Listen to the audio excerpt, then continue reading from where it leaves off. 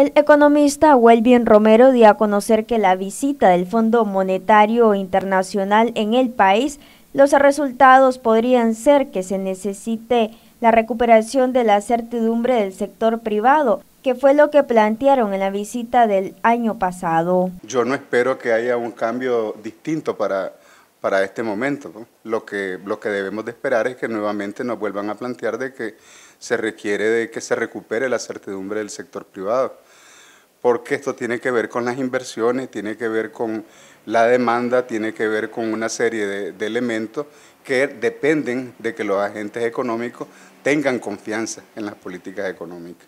Desde la perspectiva económica, lo que, lo que vos buscas es recuperar la confianza del público.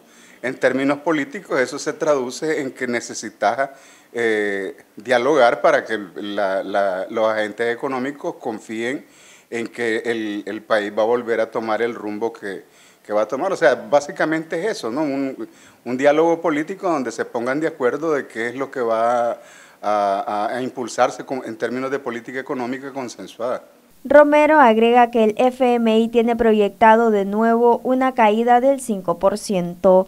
De ahí para los próximos años, ahí desde la visión más optimista, que es la del gobierno, de que vamos a crecer el año que viene en punto 51, hasta la más pesimista, que es la del fondo, que vamos a crecer hasta el 2022 en punto 2%.